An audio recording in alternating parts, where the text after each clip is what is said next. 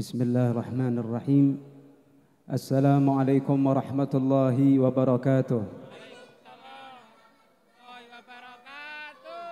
بسم الله والحمد لله والصلاة والسلام على رسول الله وعلى آله وصحبه ومن والاه ولا حول ولا قوة إلا بالله أشهد أن لا إله إلا الله وأشهد أن محمدا عبده ورسوله لا نبي بعده جزا الله عنا سيدنا محمدا صلى الله عليه وسلم خيرا.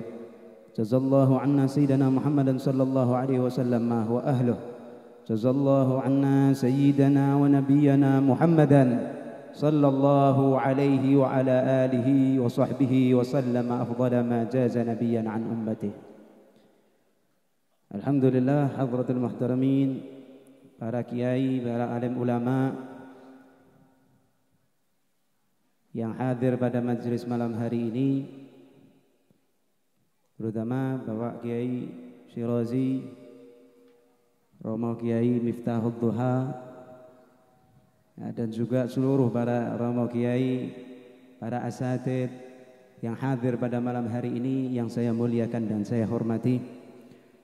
Kita doakan semoga mereka dijaga oleh Allah Subhanahu wa taala, diberikan kesehatan oleh Allah Subhanahu wa taala, diberikan panjang umur oleh Allah Subhanahu wa taala sehingga bisa selalu membimbing kita untuk kita mengenal Allah Subhanahu wa taala, untuk kita selalu mengingat Allah Subhanahu wa taala, untuk selalu kita mencintai Nabi Muhammad sallallahu alaihi wa ala alihi wasallam. Dan juga para sesepuh terutama Bapak Gaji Jamsari dan juga seluruh dari beserta istri seluruh keluarganya dan seluruh daripada hadirin hadirat yang dimuliakan oleh Allah Subhanahu wa taala. Alhamdulillah kita patut bersyukur kepada Allah Subhanahu wa taala. Allah yang mengumpulkan kita di tempat ini untuk sama-sama kita bersyukur kepada Allah atas seluruh kenikmatan yang diberikan kepada kita semua mulai dari kita berada di kandungan ibu kita sampai hari ini alhamdulillah alhamdulillah. Nikmat kita dikumpulkan oleh Allah Subhanahu wa taala dalam satu wadah. Yang mana kita di dalamnya dipenuhi dengan rahmatnya Allah Subhanahu wa taala. Yang saya yakin pada malam hari ini Allah memandang kita. Nadrah tuzilul ana anna wa tudnil munah minna wa kullal hana nu'tahu fi kulli hin. Semoga Allah memandang kita dengan pandangan yang menghilangkan seluruh kesumpukan. Pandangan rahmatnya, pandangan yang mengabulkan seluruh harapan-harapan kita. Yang mengabulkan seluruh doa-doa kita. Insya Allah pandangan yang menghapuskan seluruh dosa-dosa kita untuk menghadapi kita bulan Ramadan yang sudah semakin dekat. Kita di bulan Sya'ban. Ini di mana di bulan Sya'ban adalah di bulan Allah Subhanahu wa taala. Malah malaikat Allah Subhanahu wa taala mengangkat amal-amal kita kepada Allah Subhanahu wa taala. Ya. Sehingga Nabi Muhammad sallallahu alaihi wasallam tidak pernah berpuasa selain daripada bulan Ramadan di bulan-bulan yang lain yang lebih banyak sebagaimana beliau berpuasa di bulan Sya'ban. Kenapa? Karena beliau ingin ketika amal beliau yang sungguh luar biasa yang amalnya dijaga oleh Allah Subhanahu wa taala diangkat kepada Allah dalam keadaan beliau berpuasa. Artinya mengajarkan kepada kita untuk kita sebagai di akhir-akhir kita, ya, di akhir sebelum amal kita diangkat kepada Allah Subhanahu wa taala, kita harus memperbanyak amal-amal yang baik. Karena dengan amal yang baik akan menghapuskan dosa-dosa kita. Ya. Maka pada malam hari ini alhamdulillah kita diberi kesempatan oleh Allah untuk kita berzikir kepada Allah, untuk kita bersalawat kepada Nabi Muhammad sallallahu alaihi wasallam. Semoga berkat salawat Allah Subhanahu wa taala mengampunkan seluruh dosa kita sehingga catatan amal kita dihadapkan kepada Allah Subhanahu wa taala dalam keadaan yang bersih. Dalam keadaan seluruh amal-amal buruk kita telah diampunkan oleh Allah Subhanahu wa taala. Sehingga membuat Nabi Muhammad sallallahu alaihi wasallam pula bangga kepada kita sebagai umatnya. Semoga berkat salawat Allah subhanahu wa ta'ala memanjangkan usia kita dalam keadaan yang lebih baik daripada tahun-tahun sebelumnya. Semoga berkat salawat Allah memberkahi usia kita.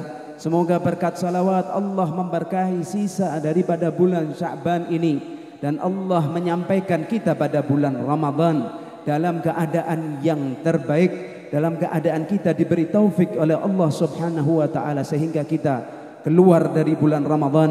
Dalam keadaan kita mendapatkan rahmat darinya kita mendapatkan ampunan darinya dan kita mendapatkan pembebasan dari api nerakanya. Amin. Allahumma amin. Semoga berkat salawat Allah menjadikan Allah menjaga keluarga kita Allah menjadikan keluarga kita sakinah mawaddah warahmah dijaga oleh Allah subhanahu wa ta'ala istri kita, suami kita, anak-anak kita semuanya dijaga oleh Allah subhanahu wa ta'ala dari fitnah akhir zaman dari orang-orang yang zalim.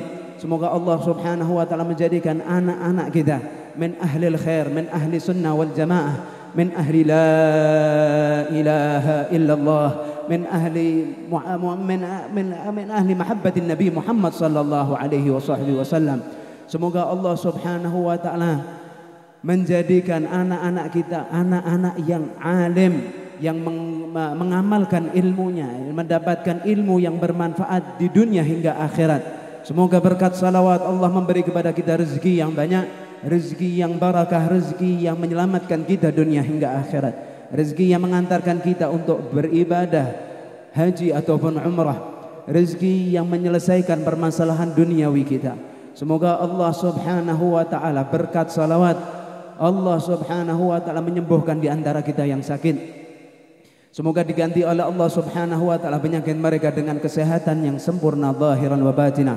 Semoga Allah Subhanahu wa taala memanjangkan usia kita, usia kedua orang tua kita, usia guru-guru kita semuanya dipanjangkan oleh Allah Subhanahu wa taala dalam diridhai oleh Allah dan Rasulnya Muhammad sallallahu alaihi wasallam dan kelak Allah Subhanahu wa taala mengakhiri usia kita beserta kedua orang tua kita, keluarga kita, seluruh orang yang kita cintai dalam keadaan husnul khatimah. Amin. Allahumma amin. Semoga yang belum mendapatkan jodoh diberi jodoh oleh Allah Subhanahu wa taala. Yang sedang terlilit hutang dimudahkan oleh Allah Subhanahu wa taala untuk membayar hutang-hutangnya.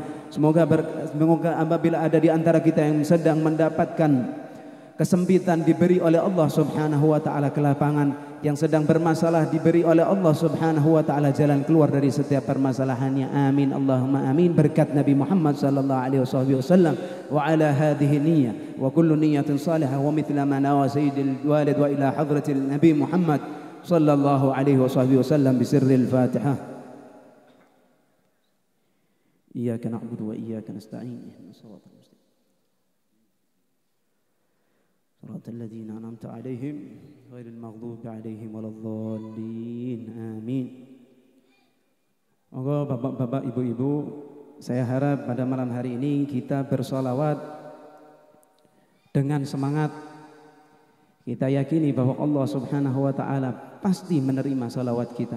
Yang barang siapa yang bersalawat kepada Nabi Muhammad akan dibalas oleh Allah Subhanahu wa taala sepuluh rahmat darinya. Semoga ya, kita yakini bahwa salam kita pasti didengar oleh Nabi Muhammad sallallahu alaihi wasallam dan pasti akan dijawab oleh Nabi Muhammad sallallahu alaihi wasallam. Sallu ala Nabi Muhammad. Kita awali salawat pada malam hari ini dengan seperti biasa salawat nariyah dengan niat semoga Allah Subhanahu wa taala mengampuni dosa-dosa kita. Allah memberkahi usia kita. Allah memberkahi rezeki kita. Allah memanjangkan usia kita. Allah mengakhiri usia kita dalam keadaan husnul khatimah. Amin. Allahumma amin. Allahumma salli salatan kamilatan wa salim salaman ala sayyidina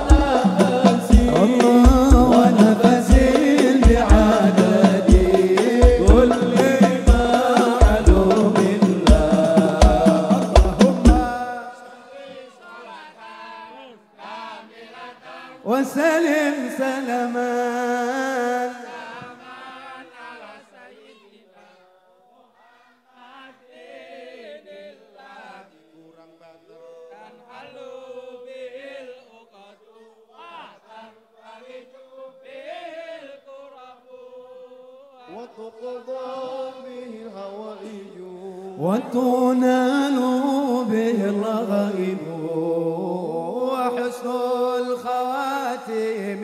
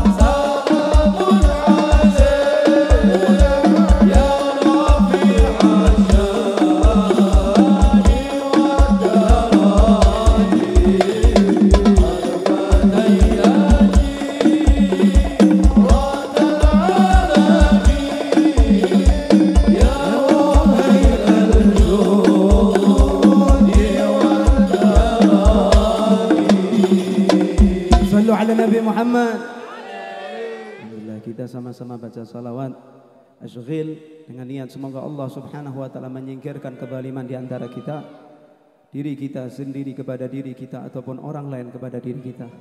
Semoga Allah subhanahu wa ta'ala melindungi keluarga kita, anak kita, istri kita Dari orang-orang zalim. Dan juga Allah subhanahu wa ta'ala melindungi Indonesia Yang kita cintai ini dijaga oleh Allah subhanahu wa ta'ala dari orang-orang zalim semoga Allah Subhanahu wa taala menghancurkan orang-orang zalim diganti oleh Allah Subhanahu wa taala dengan orang-orang yang adil, orang-orang yang betul-betul mencintai Indonesia. Semoga berkat berkat bacaan bacaan salawat azghal ini Allah Subhanahu wa taala pula menyingkirkan musuh-musuh umat Nabi Muhammad sallallahu alaihi wasallam terutama yang berada di Palestina semoga umat Nabi Muhammad sallallahu alaihi wasallam dijaga oleh Allah Subhanahu wa taala diselesaikan permasalahan mereka dan mereka segera diberi kebebasan oleh Allah Subhanahu wa taala daripada orang-orang zalim. Amin. Allahumma Allahumma salli ala sayyidina شبيلي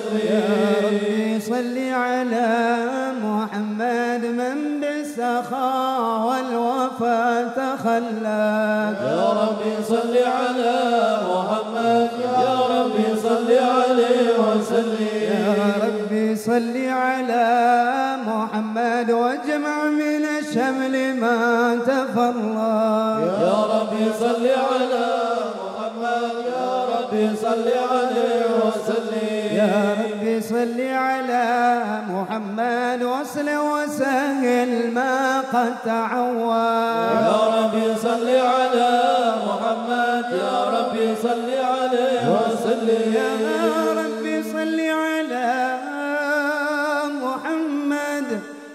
وافتح من الخير كل مغلق يا ربي صل على محمد. يا ربي صل عليه يا وسلم رب صل على محمد. يا رب صل عليه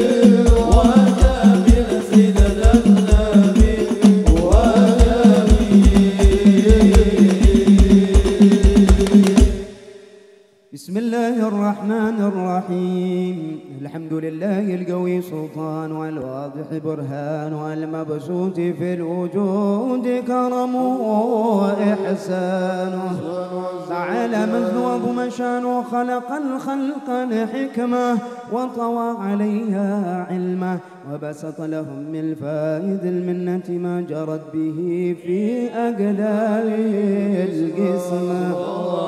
فأرسل إليهم أشرف خلقه وجل عبيده رحمة. تعلقت إرادته الأزلية بخلق هذا العبد المحبوب. وانتشرت آثار شرفه في عوالم الشهادة والغيوب فما جل هذا المن الذي تكرم به المنان. وما أعظم هذا الفضل الذي برز من حضرة الإحسان. صورة كاملة ظهرت في هيكل محمود وتعترت بوجودها أكناف الوجود وطرز الفل العوالم بطراز التكريم. اللهم صل وسلم أشرف الصلاة.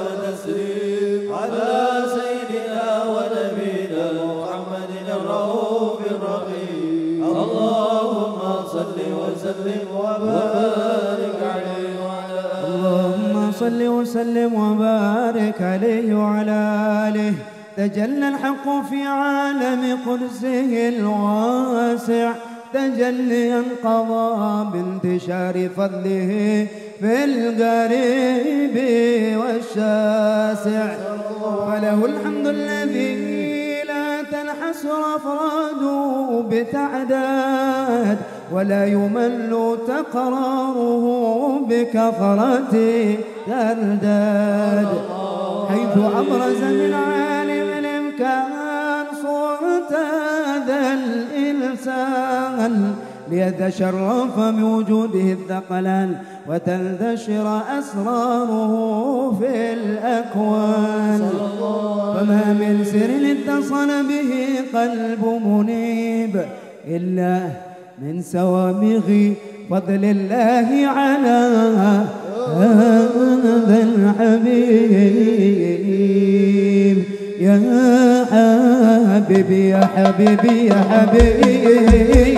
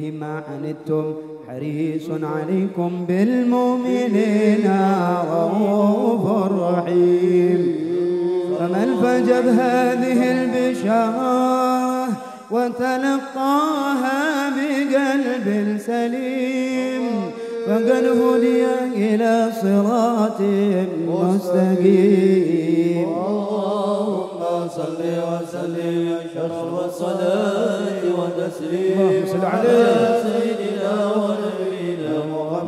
الرؤوف الرحيم. اللهم صل وسلم وبارك عليه وعلى يا أيها النبي والكوكب دري